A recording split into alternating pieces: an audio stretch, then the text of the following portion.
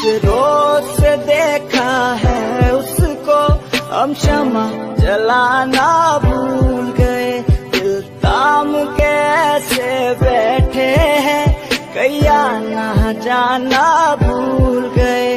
अब आठ पहर इन आँखों में कोई चंचल मुखड़ा रहता है।